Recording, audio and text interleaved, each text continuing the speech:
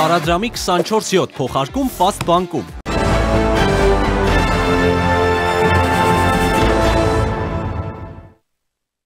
Հայաստանի նախագահի մամուլի քարտուղար Դմիտրի Պեսկովը հայտարարել է, թե Բաքուն եւ Երևանը պատրաստ են ավարտին հասցնել խաղաղության պայմանագիրը։ Հարցին արդյոք ռիսկային չէր Սանկտ Պետերբուրգում մեկտեղել երկու երկրների ղեկավարներին, Պեսկովը ուշագրավ պատասխան է տվել, նշելով, թե Հայաստանն ու Ադրբեջանը հակամարտող կողմեր չեն։ Նրանք հայտարարում են իրենց լիակատար պատրաստակամության մասին հասնելու միասնական փաստաթղթի, ավարտին հասցնելու խաղաղ բանակցությունները։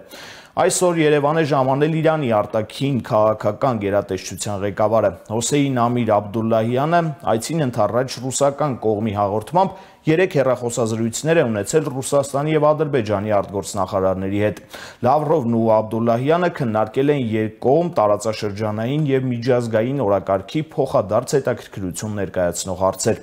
Ըստ Իրանի արտգործնախարարության Աբդուլլահյանը ողջունել է Ադրբեջանի եւ Հայաստանի միջև կայուն խաղաղության համաձայնագրի հասնելու բանակցային գործընթացը եւ ընդգծել Իրանի աջակցությունը տարածաշրջանում խաղաղություն եւ կայունություն հաստատելուն։ Բայրամովի հետ հերախոսազրույց զրույցում ըստ իրանական կողմի Աբդուլլահյանն անդրադարձել է Հայաստան կատարելի կայցին, ողջունել Ադրբեջանի եւ Հայաստանի միջև խաղաղ բանակցությունների առաջընթացը։ Այսօր էլ Հայաստանի արտգործնախարարի հետ ասուլիսում Աբդուլլահյանն անդրադարձել է տարածաշրջանային թեմաների։ Մենք աջակցում ենք աջակցողին աջակցում ենք ուրեմն հարավային Կովկասում կայուն խաղաղության հաստատմանը եւ եւ ինչպես նաեւ եւ տարանցիկ հյուսիս հարավ տարանցիկ ուղու նաեւ ուղու ուրեմն գործարկմանը աջակցում ենք եւ ինչպես նաեւ պարոն Փաշինյանի կողմից արձարծված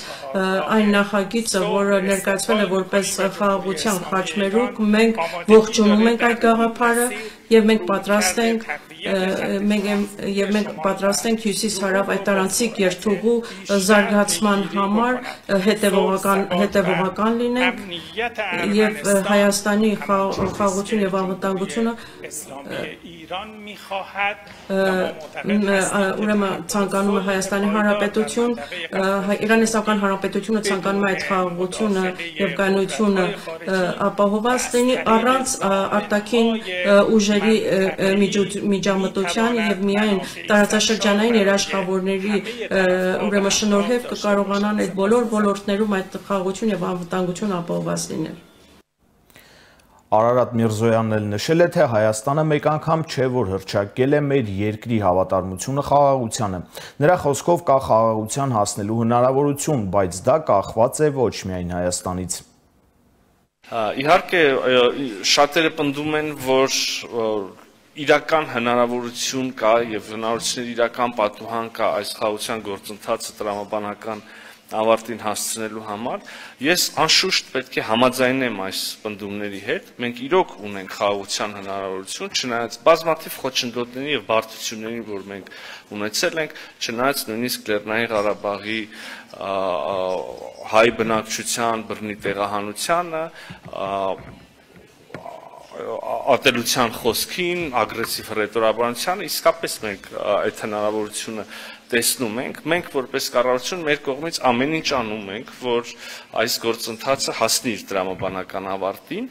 ափսոս ակնհայտորեն որևէ պետություն միայնակ դժվար թե կարողանա խաղաղության պայմանագիր ստորագրել եւ մեր կառուցողականությանը զուգահեռ մենք կարիք ունենք նաեւ Ադրբեջանի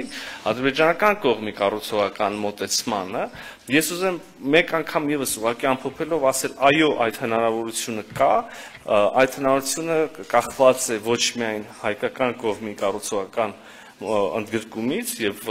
նվիրումից, որը կա, այլև նաեւ ադրբեջանական կողմի եւ մենք հուսով ենք, որ այդ կառուցողականությունը Ադրբեջանը կդրսևորի։ Մենք տեսնում ենք եւ դրական ազդակներ, ինչպես օրինակ վերջին շփումների արդյունքում ձեռք բերված պայմանավորվածությունը, երբ որ տեղի ունեցավ ռազմագերիների եւ պահվող անձանց ազատ արձակում եւ մյուս կողմից էլ օրինակ Հայաստանը սատարեց Ադրբեջանի տեխնացությունը COP29-ի այդ ընտրություններում եւ մյուս կողմից էլ տեսնում ենք բացասական ազդակներ ես նկատի ունեմ հնչող բարբերաբար հնչող ագրեսիվ խոսքերը, կոչերը Ադրբեջանից եւ նաեւ ասենք բանակցություններում օրինակ բարձրաստիճան հանդիպումներից խուսափելը գիտենք որ տարբեր առաջարկներ կան, բայց այդ հանդիպումները վերջին շրջանում տեղի չեն ունենում։ Կրկնում եմ, հուսով եմ, որ այնուամենայնիվ կառուցողականությունը կհաղթի եւ այս հնարավորությունը ունենալ իրական խաղաղության պայմանագիր, երկարատև խաղաղության պայմանագիր առաջիկայում կունենանք։ Հարցին արդյոք Բաքուն շարունակում է պնդել Զանգեզուրի միջանցքի մասին եւ ինչ դիրքորոշում ունի Իրանն այդ հարցում Աբդուլլահյանը պատասխանել է թե Հայաստանը լուրջ է տրամադրված կայուն խաղաղության հասնելու հարցում Ադրբեջանը եւս Մենք լովին հասկացանք որ Հայաստանը որ կայուն խաղաղության հասնելու համար շատ լուրջ է տրամադրված եւ լուրջորեն քայլեր է ձեռնարկում եւ ես նախորդ օրը խոսել եմ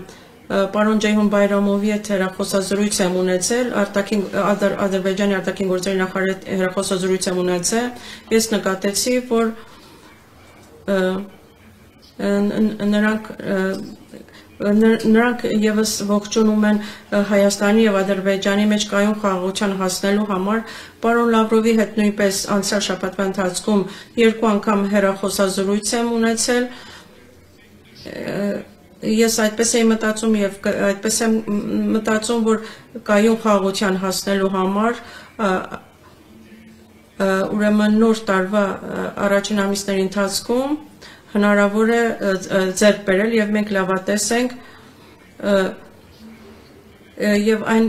դրական տրամադրվածություններ, որ կան տարածաշրջանում առաջ առանց արտաքին միջամտությունների կարող են ուրեմն տարածաշրջանում ուրեմն Իրանի Թուրքիայի եւ Ռուս, Ռուսաստանի միջոցով ուրեմն 3 գումարած 3 ֆորմատով ուրեմն լավատեսական եւ իրատեսական իրատեսական առումով դիտարկենք դիտարկենք Հայաստան եւ Ադրբեջանի միջև կայուն խաղաղության հաստատումը ակնառու է Հայաստանի եւ Ադրբեջանի միջև խաղաղության պայմանագրի վերաբերյալ դիվանագիտական հայտարարությունների ինտենսիվացումը, ընդ որում գրեթե բոլոր միջազգային դերակատարների շրջանակում։ Այդ օրինակ իրավիճակ լինում է թերևս երկու պարագայում, կամ իրապես մեծ եւ շոշափելի առարկայական հնարավորության կամ դրա բացակայության, այդ հնարավորությունը վերահսկելու համար մղվող աշխարհակաղակական պայքարի թեժացման հետևանքով։ Ընդ որում այդ պայքարի որևէ մասնակից մրցակից կողմի նախաձեռնությունը տապալելու համար կարող է ներկայացնել սեփական նախաձեռնությունը, այսինքն մրցակցել այսպես ասած պոզիտիվ խոչընդոտի տրամաբանությամբ։ Ինչ գործնական վիճակ է այդ առումով Կովկասում, միարժեք ասելը դժվար է, թերևս բոլորի համար։ Այստեղ սակայն կարևոր նրբերանգ է այն, որ իրական խաղաղության եւ խաղաղության պայմանագրի միջև ուղիղ կապը պարզապես խապկանք է։ Այլ կերպ ասած, որևէ պայմանագրի կամ համաձայնագրի, հրճակագրի որևէ ստորագրում արտահայտելով խաղաղություն, խաղաղություն չի բերելու բոլորովին։ Սա քաղաքական իրողություններից, իրերի դասավորությունից բխող իրավիճակ է։ Անքննելի է թերևս, որ կա խաղաղության ըստ էության 3 հիմնարար երաշխիք, Խաղաղության երաշխիք է հակամարտող կողմերի միջև ուժերի ուժերի այնպիսի բալանսը, որը նրանցից որևէ մեկին թույլ չի տա մտածել մյուսի հանդեպ ռազմական կամ քաղաքական առավելության իրատեսականության մասին։ Հետևաբար բերում է փոխհամաձայնություն գտնելու դաշտ։ Խաղաղության մեկ այլ երաշխիք է որևէ մեկ ուժային կենտրոնի ամուր գերակայությունը ռեգիոնում, որը իրենով փոխարինում է հակամարտող կողմերի միջև ուժերի բալանսի մեծ տարբերությունը եւ պարզապես պարտադրում իր շահերից ու պատկերացումներից բխող ստատուս քվո։ Եվ երրորդ խաղաղության երաշխիք է միջազգային հավաքականություն ենթադրող որևէ մեխանիզմ, լինի այն համաշխարհային թե ռեգիոնալ բնույթի, որը կապահովի որևէ հավասարակշռություն, խաղի երկարատև կանոններ, որոնցում կբացառի ուժի կիրառումը։ Թվում է, որ երկրորդ եւ երրորդ տարբերակները հարաբերական խաղաղության երաշխիքներ են, քանի որ հիմնված են ավելի շուտ ոչ թե կողմերի համաձայնության, որքան ավելի բարձր ուժային բալանսի թելադրանքով, բայց առաջին տեսականում ավելի խորքային թվացող մեխանիզմը կամ երաշխիքը գործնական առումով թերևս ամենաիրատեսականն է մի շարք հանգամանքների բերումով։ Ահա այդ առումով ներկայումս հարցեր է առաջացնում հանգամանքը, որ կարծես թե առաջնային պլան է մղվում հենց այդ տարբերակը, առնվազն տեսանելիության իմաստով։ Այսինքն գործնական առումով իրականանալիությունը ամենափոքր թերևս զուտ տեսական հնարավորություն ունեցող տարբերակն է։ Հետևաբար առաջանում է հարց, թե ինչ է կատարվում այդ տարբերակի հետևում։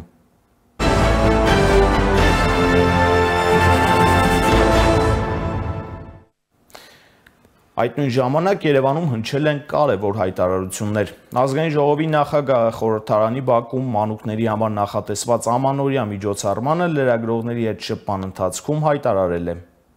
Պատերազմից հետո ասում էին, որ չեն կարողանալու բանակցենք, որ խաղաղություն չի լինելու, բայց մենք ակնհայտ է հիմա, որ խաղաղությունը երբևիցե այսքան մոտ չի եղել, քանի այս ժամանակահատվածում մենք թերևս ամենամոտն ենք խաղաղությանը եւ ես լիահույս եմ։ Սիմոնյանը նաև նշում է, մեջբերում եմ, Իրենք նաև ասում են, որ մենք նկրտումներ ունենք իրենց միջազգայինորեն ճանաչված սահմանների նկատմամբ։ Հիմա արդյոք Ադրբեջանը պետք է վստահ լինի, որ Հայաստանը մի օր չի հարձակվելու իր վրա եւ գնա հասնի Բաքու, ինչպես ասում էին մեզ մոտ որոշ ճոռոմ մարդիկ։ Այդ ճոռոմախոսությունը բերեց այն ամենին, ինչին առերեսվեցինք 30 տարի անց։ Մեզ համար կա մի իրականություն, իրենց համար կա մի այլ իրականություն, որոնք հայելային իրար շատ նման են։ Դրա համար կա խաղաղության գործընթաց, որը մենք տանում տանում ենք առաջ։ Ազգային ժողովի նախագահը ասել է նաև. Հայաստանի տարածքում ադրբեջանական զինուժի արկայության թեմայի շրջանակում, թե օրինակ կան տարածքներ, որոնք ԽՍՀՄ ժամանակ եղել են ադրբեջանցիներինը, եւ դրանցում այսօր հայկական զինուժ է, եւ պետք է ադրբեջանցիները դուրս գան մեր տարածքից եւ նույն տրամաբանությամբ էլ հայկական զինուժը հետ քաշվի այն տարածքներից, որոնք եղել են ադրբեջանցիներինը ամենակարևոր առաջնային հարցը խաղաղության պայմանագիրը ստորագրելն է, հիմնական սկզբունքների շուրջ համաձայնություն ձեռք բերելն է, իսկ այդ ինչպես արդեն բազմիցս հայտարարվել է, դրա մեծ մասը արդեն քննարկված է եւ մենք պատրաստվում ենք միջև նոր տարի աշխատում ենք այդ ուղղությամբ, որ միջև նոր տարի նաև մեր առաջարկները, այն որ ադրբեջանական կողմը ուղարկել է, նաև մեր առաջարկները հետ ուղարկենք, այսինքն հնարավորինս արագ արձագանքենք եւ process-ը շարունակում է, process-ը կա, process-ը դրական դինամիկա ունի, որը չի կարելի անվանել բացասական։ Հայաստանի խորհրդարանի նախագահը այս մասին խոսում է. Այն դեպքում, երբ Ադրբեջանի բոլոր պաշտոնյաները որևէ բառ անգամ չեն խոսում այն մասին, թե ինչպես հայերն են իրենց տարածքներում, այնպես էլ իրենք հայերի տարածքում։ Ադրբեջանն առ այսօր ներկայացնում է միայն հավակնություններ, իսկ Հայաստանի խորհրդարանի նախագահն օրինակ փաստացի իր խոսույթով ստեղծում է հայելային պատկեր, ըստ էության կամա թե ակամա նույնացնելով խնդիրը։ Ադրբեջանական ագրեսիայի ագրեսիայի հետևանքը։ Այդ դեպքում հարց է առաջանում, թե Հայաստանի նույն գործիչները ինչպես են որևէ հարց ներկայացնում օրինակ Հապկի կամ Ռուսաստանի դեմ, երբ իրենք են իրենց հայտարարություններով ըստ էության հավասարեցնում ամեն ինչ ու ստանում ադրբեջանական ագրեսիայի հետ հայելային արտացոլում։ Երկրորդ, ինչ կարող է այդ պարագայում Հայաստանն ակնկալել միջազգային որևէ այլ կառույցից։ Եվ երրորդ, որն է ընդհանրապես այդ օրինակ խոսույթի իմաստը կամ նպատակը, թե այն պայմանավորված է պարզապես քաղաքական համարժեքության բացակայությամբ, այդ թվում կապված սեփական քաղաքական կարգավիճակի պատկերացման հետ։ Հայաստանում խորհրդարանը միակ ներկայացուցիչ վարչական առաջնային մանդատ ունեցող կառույցն է։ Հայաստանը խորհրդարանական կառավարմամբ պետություն է եւ այդ մոդելի կարևոր էֆեկտներից մեկն էլ պետք է լինի ճկունության աստիճանի բարձրացումը։ Եթե Հայաստանի գործադիր իշխանությունը ինչ-ինչ դիվանագիտական նկատառումներից ելնելով Ադրբեջանի հետ գործընթացի առնչությամբ կիրառում է նկատելի մեղմասացություն, ապա խորհրդարանը առնվազն պարտավոր է թերևս չկրկնել նույնը։ Եթե խորհրդարանը իր առաջնային մանդատից ելնելով չի կարող իր ռետորաբանությամբ որոշակի ռացիոնալության շրջանակում բալանսավորել գործադիրի խոսույթը կամ ռետորաբանությունը, ապա պարտավոր է անել դա թերևս գոնե իր լրությամբ, երբ խոսքը վերաբերում է դիվանագիտական բավականին ներփազգաց հարցերի, այդ կերպ չավելացնելով Հայաստանի դեմ Հայաստանի իսկ ռետորաբանությամբ փաստարկներ կառուցելու ադրբեջանական հնարավորությունները։ Միջդեռ տպավորություն է, որ դատելով հնչող հայտարարություններից, որ Հայաստանի քաղաքական իշխանության մեջ մեղմասացության մրցակցություն է։ Գուցե արտաքին հավա, հավանության որևէ ակնկալիքով պայմանավորված Հարացույցի հաջորդ հատվածում այս եւ վերջին օրերի առավելապես արտաքին քաղաքական զարգացումների մասին եթերը կշարունակի իմ գործընկեր Սիրանուշ Պապյանը։